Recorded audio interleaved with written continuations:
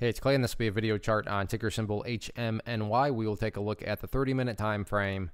Real quick, what do I mean by 30 minute in case maybe you're new to charts? Instead of each one of these candlesticks here representing one day's worth of price action, which is what you would normally see, each one represents 30 minutes. So all this here may look like several days worth of time. It's actually today's price action broken down into 30 minute time slices. I like to this time frame. It's a good job of telling the quote unquote story of the price and then makes mapping out where levels of support and resistance a bit easier to see. Did this analysis yesterday, so that's where the red and green line annotations up here are coming from. I'm going to just get rid of that line there. Sure, it still pertains. It's not relevant.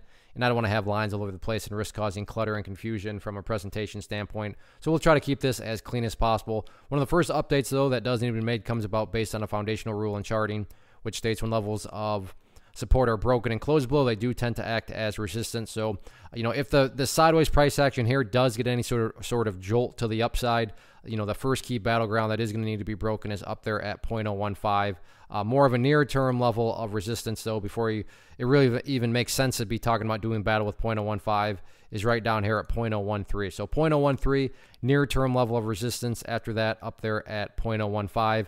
As far as areas of support are concerned, pretty straightforward right now, and it's just all based on you know the question. Well, where did the bleeding finally stop today?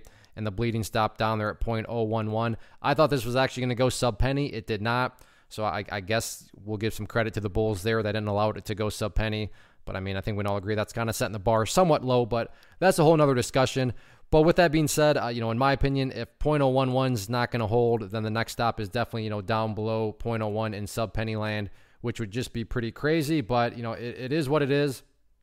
And, you know, this stock is definitely uh, probably one for the history books. But as it stands now, who knows? Maybe this thing's leveling out and it's getting ready to go on one of its past, you know, really nice bounces. So that's always a possibility too. Uh, but like I said, if any sort of bounce is going to occur, first hurdle that needs to be cleared 0.013 and then 0.015. So we'll see how tomorrow unfolds. But uh, right now, yeah, Bears are definitely in full control.